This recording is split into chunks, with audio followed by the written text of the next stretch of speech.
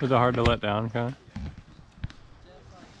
Jeff's like, watch this. I'll swing it all the way around the tree and nail him. yeah.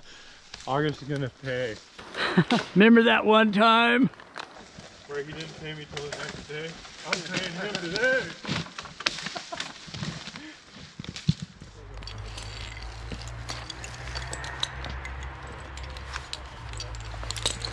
This morning, I took an one of those Advil gel caps and I broke it and I rubbed it on my elbow. But it didn't work. I don't know. We'd need a bucket truck for sure, or else I'd have to cut into it just to make sure it's even climbable. Oh. I was thinking, hmm, there's a lot of green on that thing. There is and... a lot of green.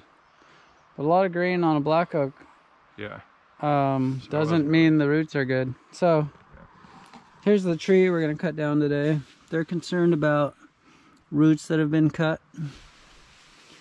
Um, the tree is a little sketchy. There's some raccoon poop, so there might be a raccoon up there. I have to watch for that. Fair amount of decay in the tree, some funky, funky look to it. We'll get up there and rig it out. I see some, oh, that's a blue jay.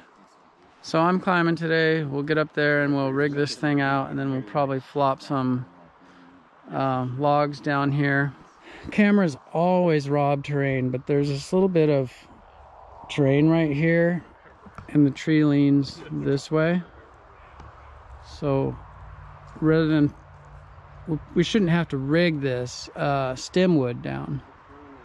We should be able to flop this wood out here there's sprinklers, some irrigation and whatnot. But firewood sized pieces would hit that terrain and go flying off somewhere. So we'll probably pull some bigger pieces out and that'll control the deflection, how far they bounce, the ricochet.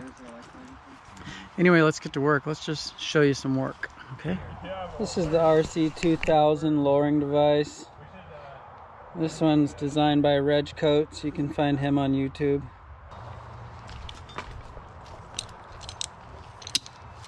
First try. I wondered if it would be. What do you think? First try? No.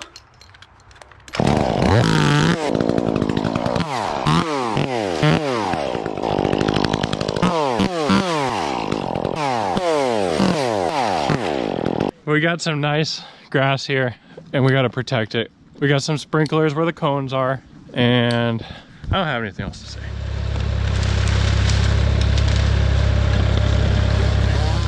So YouTube, right up in here and a lot of these old trees you find a, a lot of raccoon poop. So like I throw my rope over and then all that stuff. Dropping down is uh, raccoon. Raccoon scat.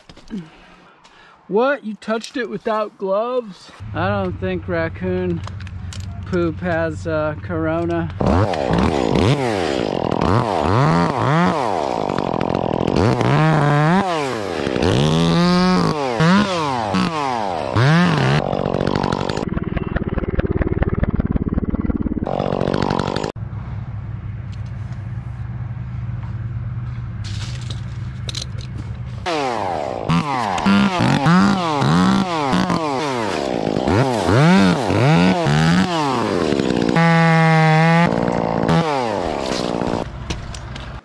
YouTube, here I am in the top.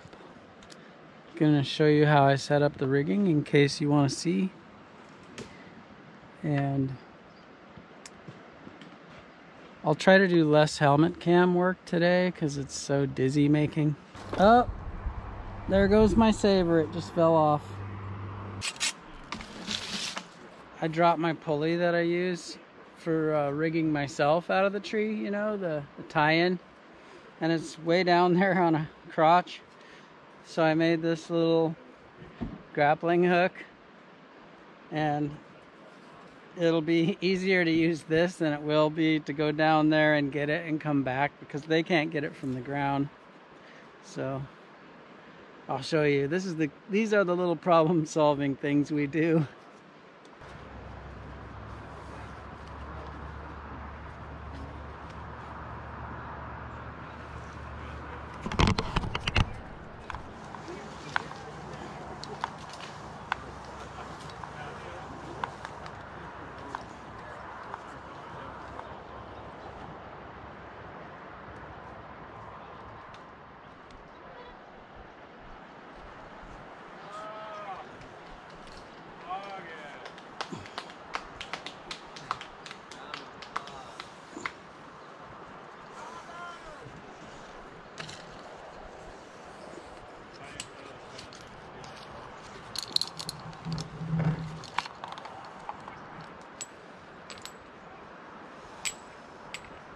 Let's see, which side should I start on? Think start on that side. Okay, YouTube. I'm rigged. This is my no, I'm talking to YouTube. This this is my rig for me coming off of this. And this is the rig for the all the trunks I'm gonna lower off. So I'm gonna lower off all that and then this and then I'll go over to this whole other side and we'll swing this whole other side down there. And then when we're done with that, we'll come to the other side and we'll rig the, all of that off. And then we'll do this top last. So that's it three rings here for bend radius that's a david driver um, thing he's the guy that started the x rings. And uh, joe made this for me. It's uh, custom. It's pinto pulley with uh, yeah i don't i don't want to talk a lot. I just want to work. So let's do that. Okay that's on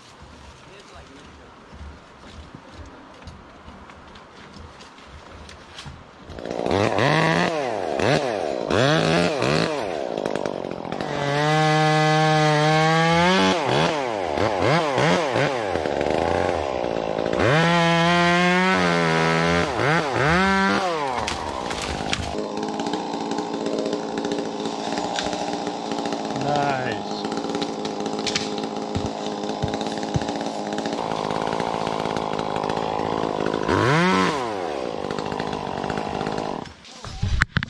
Yeah, a little more slipperiness on the butt.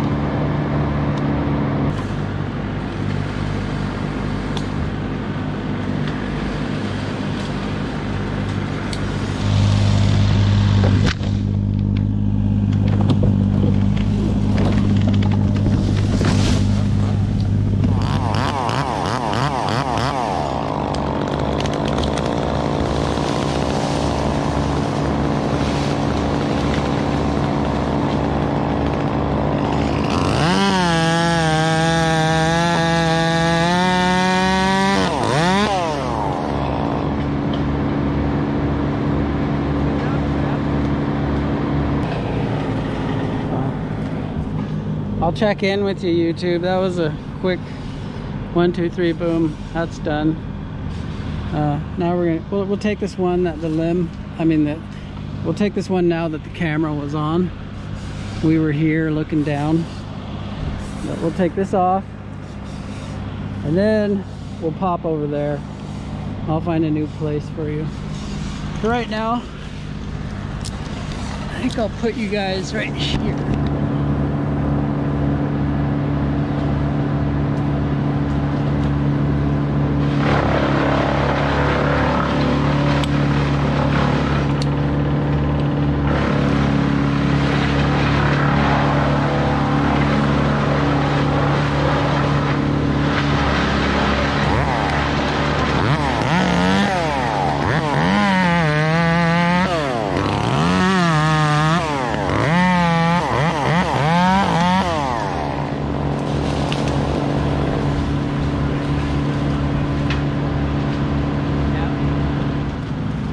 Where are we gonna put these guys?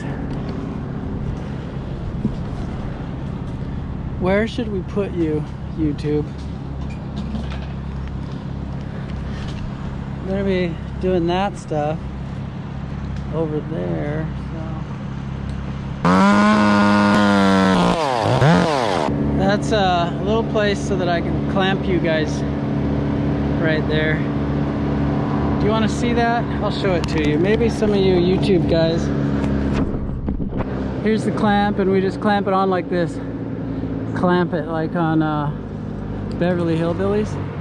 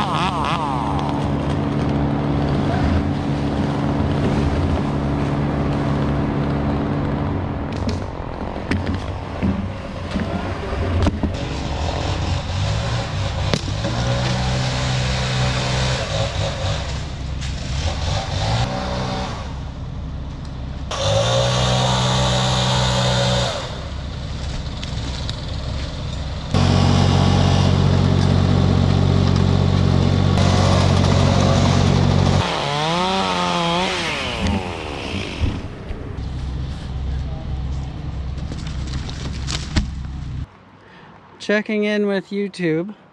That was a one-two wham bam done. And now this one. A couple little leaves on the other side of the fence, but it's been a really clean, quick, smooth show so far. I think it's time to swap this battery and maybe I'll keep you guys up close for the next. Damien thinks that if I throw you to him, that he'll be able to catch you. That's what he thinks. Are you ready? Oh, I was about to throw it and you looked away. Are you ready? I'm ready. Boy. That thing gained some serious speed. I'm Putting a new battery in it. Yeah. Damien, I'm Or like- sure Damien said he's gonna go. Is he? No, So, YouTube, in case you didn't know, we keep swapping ends. If I'm rigging on on this side, then we'll put the snap on this side and we'll and then the man will hold this side. But if we're rigging trees off this side, then we tie the rope onto the rigged piece and then the man holds this one. Pretty simple stuff. So we just swapped ends. He's gonna have this one. Whoop. He'll be standing out there, see him there? And then this, he'll be going up through the rings and down. And we'll we'll probably hook it right there. And then I'll cut it clear down there where it comes off. And I can't really leave the camera up here because if I point it at the work there, then it won't see the cut down there. So it'll be better if I take the camera with me, I guess, and maybe put it on my helmet or something. Okay, I put you guys on my helmet. I'll swing over there. I'll make the cut. I'll try to hold my head still so that you get that view without getting all dizzy from uh, too much head movement, head movement, as I say in MMA.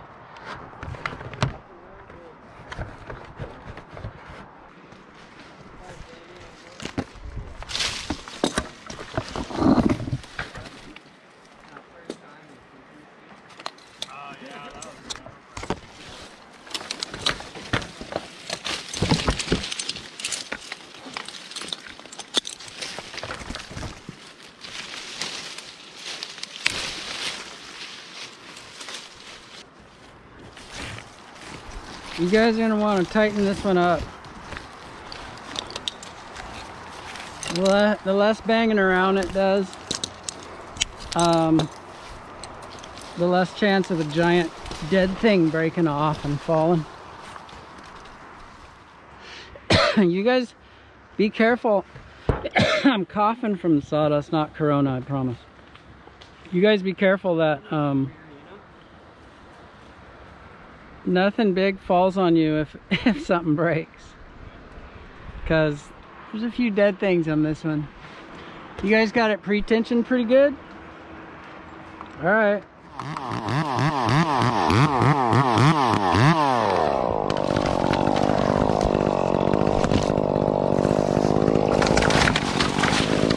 yeah. Yeah yeah i had a little hiding spot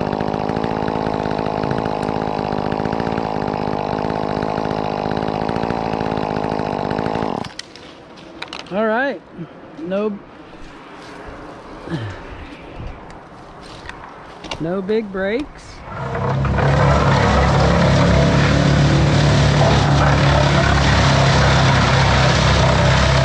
Okay, YouTube crowd. We'll do this in two pieces. We could do it in one, but it'll be a little smoother if we go one, two. And um, because we're swinging it kind of beside the tree and and those ornamentals. So it's kind of up to Jeff to to to take it down and away and through like that. Something else worth mentioning is don't leave a lot of stub cuts. I had a, a guy in one of my comments sections the other day. He was saying you can tell he doesn't know what he's doing. He didn't leave a bunch of limbs sticking out because you might need those for rigging. And it was like such a dumb thing to say because rigging snags up if you leave a bunch of of well I don't have any to show you but that that big cut down there the reason why I went through the effort of slicing it off smooth is so that this stuff when Jeff's rigging it past doesn't hang up on something that you left behind because you were either lazy or you weren't sure what you were going to do later so you left something because you don't know if you need it because you don't really know what the heck you're doing. We all kind of go through that phase and when you go through it hard and find yourself hung up uh, enough times then later you know what you're doing and you don't want to do that. So we're gonna rig this off. The the line it's butt tied so when it comes off you want the rope pulling against the spine of the snap not out here on the gate. And that's something that it's a detail. This snap it wouldn't be a problem if it leaned on the gate but it's just a principle I guess. All right ready Jeff? This one the bottom one you're gonna take it out in between the shrubs and down into your lap kind of so I'm I'm kind of facing it out away from me so that you can take it down in between the ornamentals. Ready?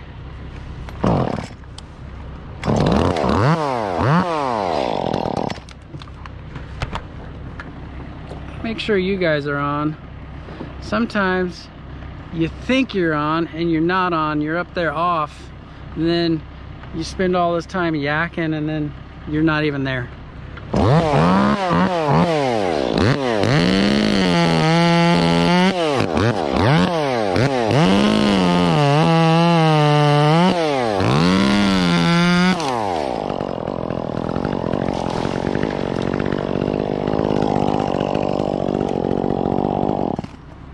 See, he went right between the ornamentals and the tree and he brushed right up against where that trunk was cut off. That would have snagged up if we didn't know what to do.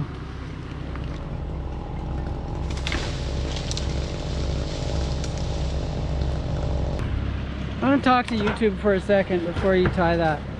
I wanna tell them something. I'm gonna tell them something. So YouTube, I, I hook them like this a lot because it chokes and it's it's good enough. Um, on real slippery trees, then you want to hook it with a marl. Somebody asked me a while back what a marl is. So the marl, you put a half hitch here. So this is going to invert and then the rope will be like that on it. And then your other one hooks up like normal like this. See? And it's more for them to untie but it's a safeguard against the whole thing just slipping off the end.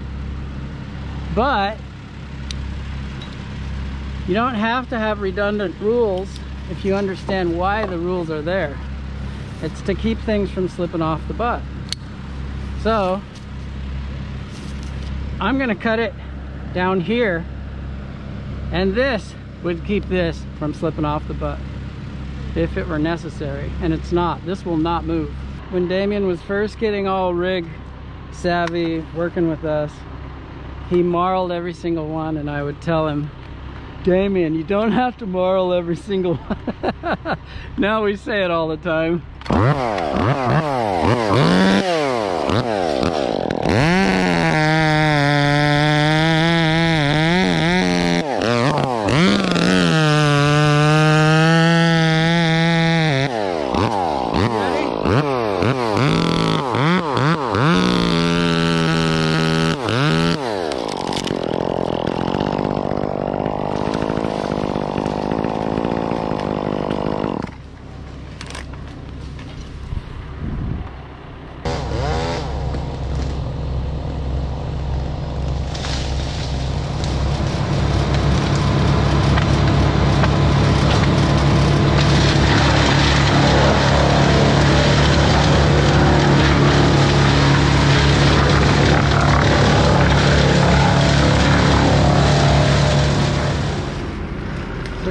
this one is not going to invert. You're going to tip tie this one.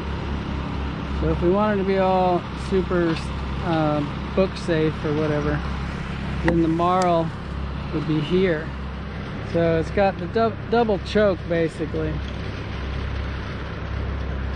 There's not all the pressure here because it's twisted and backed up by this one. These are basics, people.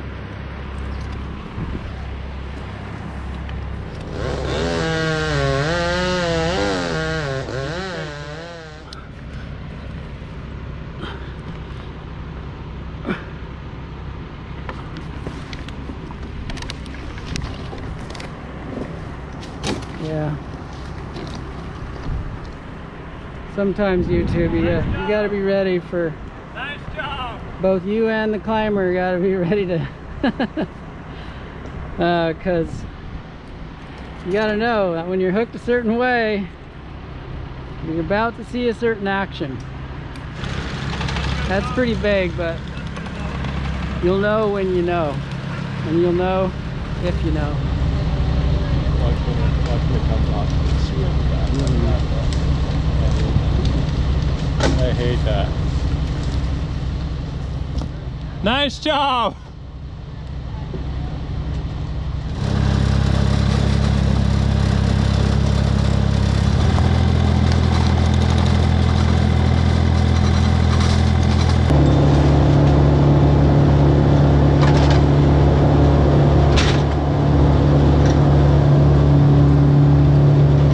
this would be one that I would normally flush off so that it didn't get in the way of my rigging.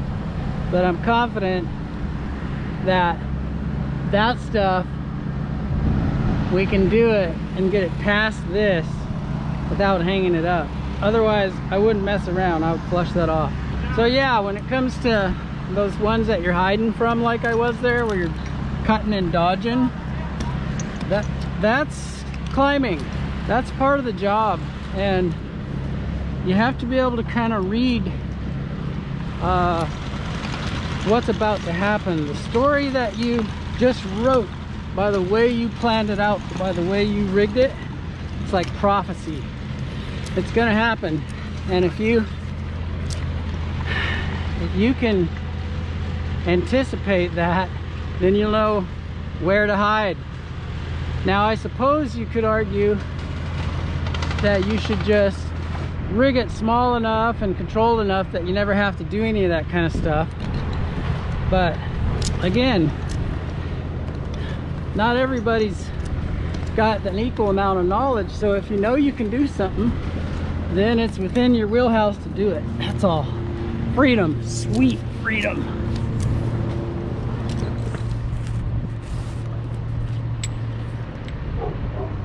I gotta make a face cut, so hold on a sec.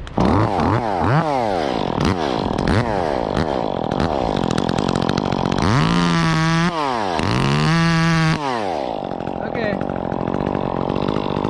This side.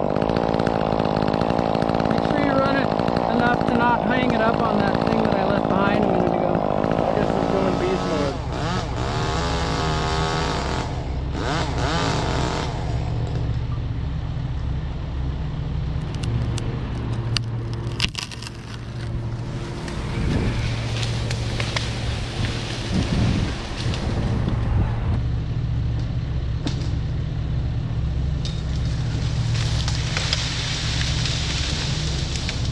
Nice. Yes. Zoppo, that Nice, was awesome.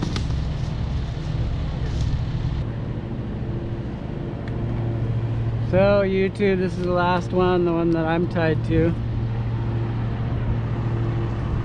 You get that, YouTube? You guys see that? August Hunicke at his finest there. Adam Zoppo just viewing and Jeff Schroeder on ropes. Nice job, Jeff. That was smooth. We have a place that we can drop wood there, but we're rigging all the big brush out because it's too big to not destroy all the little plants. But I can thread the wood down in there.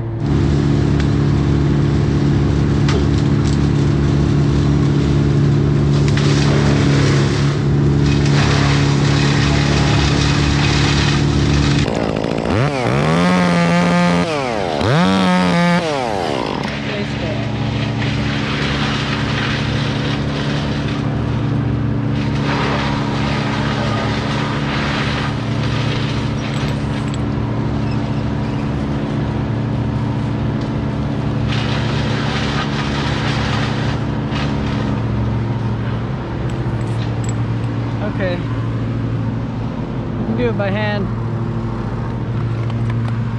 You don't want to hang it up on that thing I left back down there.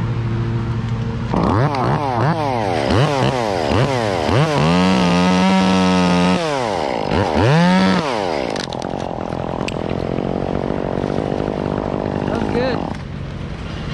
Oh, sorry. Yeah, you should have had gloves. But that was a really nice run. 10 o'clock.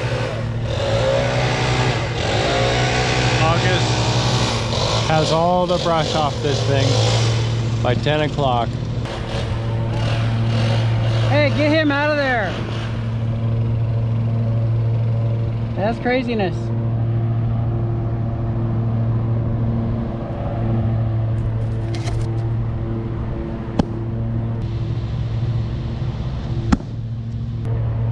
Flatness.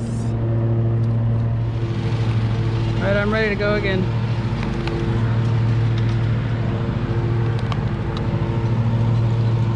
Adam's such a good ground man. He just can't help himself.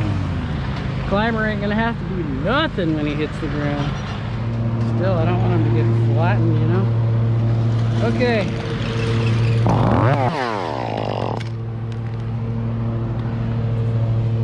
Are you ready?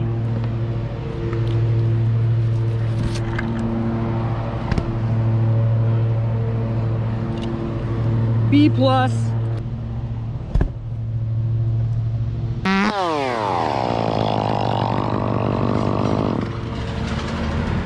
Coming down.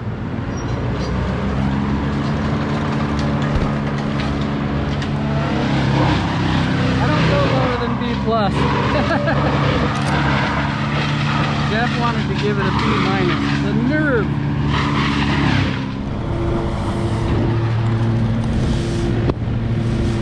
That was an A.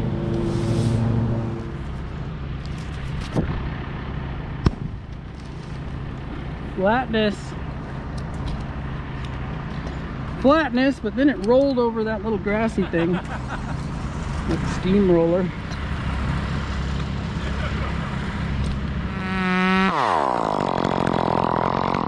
YouTube, this is the Echo 2511T with a Panther bar and a quarter pitch chain. Quarter pitch bar and chain. This thing, I love it. There's the mod. You want to see the modified exhaust, YouTube? Don't anybody go under this log.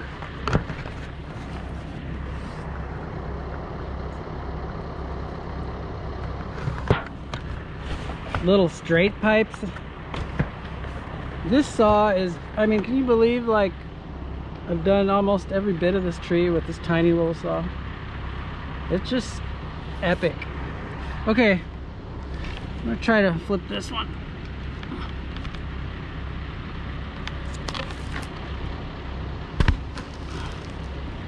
Oh, we're back to B plus, are we? Okay. I just want an A plus. I want an A plus so bad. Ooh. That's not an A plus.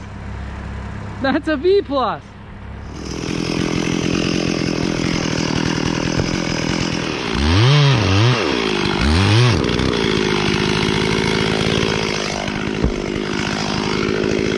That's an A plus.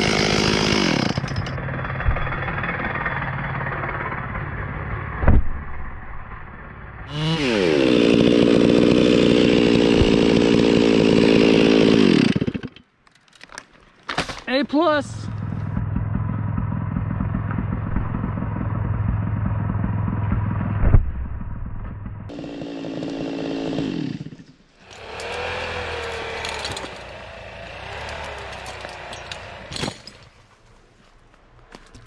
Okay YouTube, here we are at the bottom.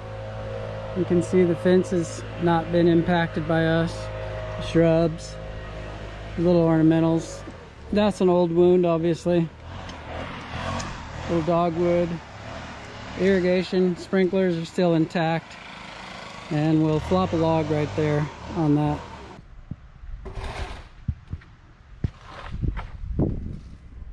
clean out's done.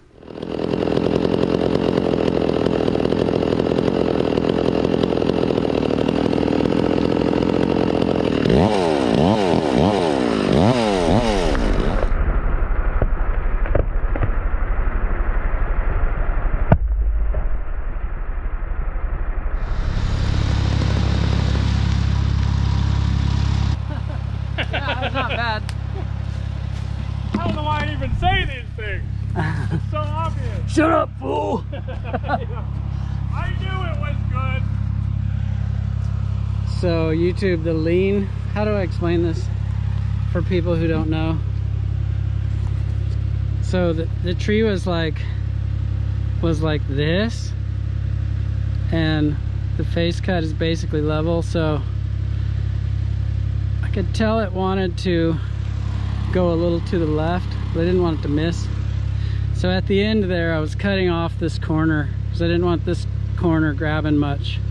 And then of course I left a nice um, bit of holding wood on this corner so that it would move this direction as much as possible for the face cut we had there. So yeah, that's uh, that's a wrap. I hope you enjoyed it as much as we did.